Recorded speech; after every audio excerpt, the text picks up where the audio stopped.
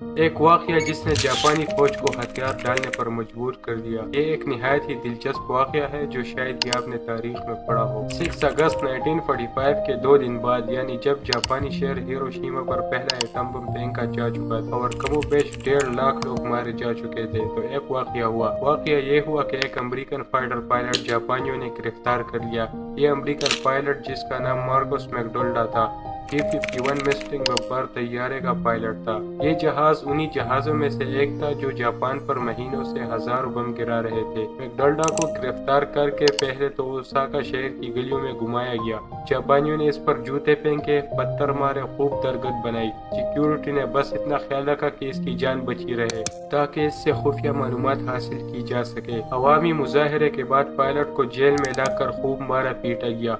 असल में मकसद ये था कि इससे एटम बम के बारे में मालूम ली जा सके, जिसने जापान पर दो दिन पहले क़यामत बर्पा की थी। इससे बार बार पूछा जाता कि एटम बम के बारे में जो भी जानते हो, वो बताओ। ये क्या है? कहाँ कहाँ गिराए जाने की प्लानिंग है? मजीद कितने बम अमेरिका के पास तैयार है? वगैरह वगैरह। पायलट मैकडल्डा ने स्कूल, कॉलेज में थोड़ी बहुत केमिस्ट्री पढ़ी थी, जिसमें से उसे यह तो याद था कि एटम बम क्या होता है। लेकिन एटम बम क्या होता है? ये किस बला का नाम है? उसे कुछ मालूम न था। क्योंकि Manhattan project atom bomb बनाने का प्रोजेक्ट इतना खुफिया था कि वहाँ पर काम करने वालों के सिवा किसी को भी मालूम नहीं था। ये पायलट यूएस एयरफोर्स के उस कंपोजिट ग्रुप नाइन और फाइव से भी नहीं था, जिसे जापान पर बम गिराने की ट्रेनिंग दी जा रही थी। इसका तल्क मिलिट्री की इंजीनियरिंग ब्रांच से भी नहीं था कि उसे कुछ मिलिट्री टेक्नोलॉजी का इलम होता।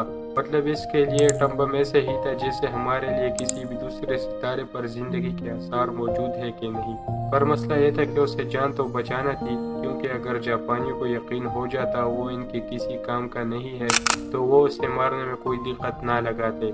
क्योंकि जापानी अमरीकियों के हाथों लाखों की तादाद में खुद भी मारे जा रहे थे, सो रहम का ऑप्शन नहीं था। सो पायलट मैकडल्डा ने अपनी जान बचाने के लिए एक स्टोरी अपने जहन में बनाना शुरू की, जब उसे टॉर्चर के नए मरहले से गुजारा जाने लगा और एक तलवार इसके चेहरे की स्किन को काटने लगी तो वो चीखा ठहरो ठहरो मैं सब बताता हूँ। फिर इसने अपनी स्कूल साइंस की कुल मालूम जमा करके बताया कि दरअसल एटम बम को जब स्प्लिट यानी तकसीम किया जाता है तो बहुत से प्लस माइनस एटम अलग अलग हो जाते हैं। हम इन प्लस माइनस को एक बड़े से कंटेनर में एक लीड शीट के इर्द गिर्द अलहदा अलहदा रख देते हैं। यानी ये दोनों मिल नहीं सकते। फिर जब कहीं बम गिराना होता है तो दरमियान से लीड की शीट को पिघला दिया जाता है। जैसे ही दीवार हटती है, प्लस और माइनस एकदम मिलते हैं। तो एक बहुत बड़ा धमाका होता है और शेर का दर्जा दर्जा हरारत एक दचके से नीचे गिर जाता है। एक बड़ी लाइटनिंग यानी तेज रोशनी निकलती है।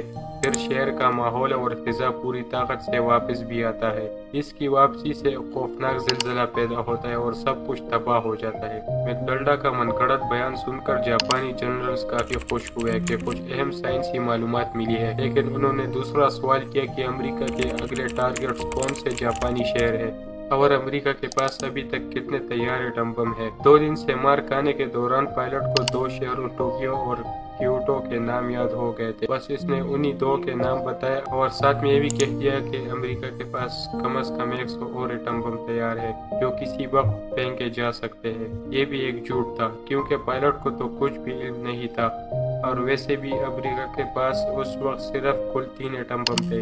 इनमें से भी एक का टेस्ट कर लिया गया था दूसरा हिरोशिमा पर चलाया जा चुका था और तीसरा नाकासाकी पर गिराने के लिए भेजा जा चुका था। मैं नहीं कहता कि सिर्फ़ इस एक वाक्य ही की वजह से जापान ने दूसरी आलमी जंग में हथियार डाल दिए। हाँ, इस वाक्य का बहरहाल जापानी थिंक टैंक्स पर एक असर तो हुआ था क्योंकि एक सौ एटम बमों की गलत मालूम शहनशाह से लेकर जापानी जनरल अमीर तक पहुंचाई जा चुकी थी और उन्होंने तो पहले ही एटम बम की तबाही देख ली थी। उनको खदशा था कि कहीं अमेरिका इन पर सारे एटम बम ही ना चला दे। इस तरह इनके तमाम शहर तबाह और बर्बाद हो जाएँगे। इसी सोच विचार में अमेरिका ने इन पर 9 अगस्त को दूसरा एटम बम भी फेंक दिया, जिसमें मजीद फौरी तौर पर 40 से पैंतालीस हज़ार लोग मारे गए। इस हमले के बाद जापानी फौज ने फ़ौरन ही बगैर किसी शर्त के हथियार डाल दिए और इस तरह जंग अजीम दोम का मुकम्मल खात्मा हुआ।